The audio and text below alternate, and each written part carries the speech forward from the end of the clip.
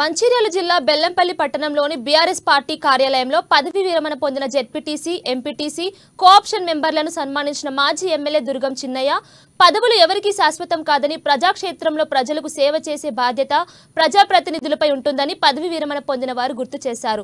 అమలుకు నోచుకొని హామీ ఇచ్చి కాంగ్రెస్ పార్టీ ప్రభుత్వంలోకి వచ్చిందని దుర్గం చిన్నయ్య అన్నారు.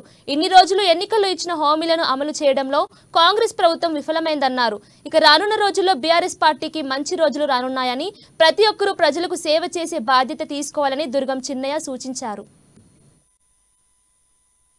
కేంద్ర ప్రభుత్వం రాష్ట్ర ప్రభుత్వం సింగరేణి బొగ్గు గనులను వేలం వేస్తామని చెప్పేసి మరి ప్రకటించడం జరిగింది. ప్రైవేటు వ్యక్తులకు ఇస్తామని చెప్పేసి ఇవాళ మరి ప్రభుత్వము నిర్ణయం చేసుకోవడం జరిగింది.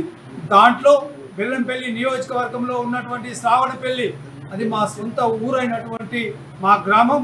మరి అలాంటి శ్రావణపల్లిని కూడా ఇవాళ ప్రైవేటు వ్యక్తులకు ఇచ్చి మరి టెండర్ చేయాలని చెప్పేసి ప్రభుత్వం ఏదైతే నిర్ణయం తీసుకున్నదో తప్పకుండా అది ఆపాలే ఆపేంత వరకు మేమందరం కూడా కార్మికులు కర్షకులు విద్యార్థులు రైతులు అందరం కూడా మేము పోరాటం చేస్తాం.